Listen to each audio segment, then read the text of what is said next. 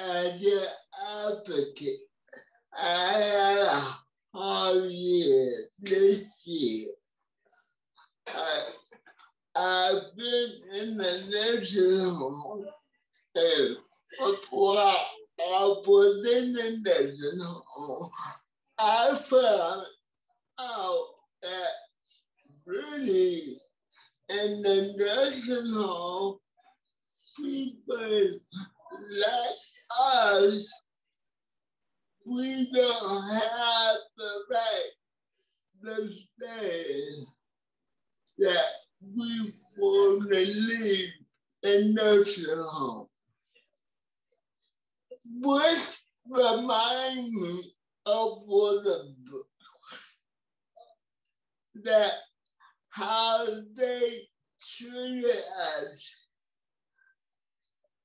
I thought would help some Hezi to get myself out of the nursing home. And I promised myself that I will keep on playing.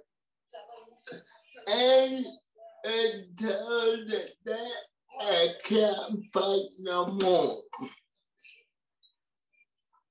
Uh, and uh, I, advocate, I am encouraged every advocate you need to really speak up and let your voices be heard.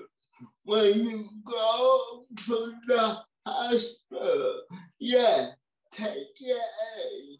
Say who you want to say, but make sure that the person know, hey, I'm making the decision, not you.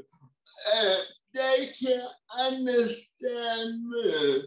You are only there to be my boy when they don't understand. I'm gonna represent you on the board to make sure people understand that people with disability will not be distracted, distracted no more. Thank you.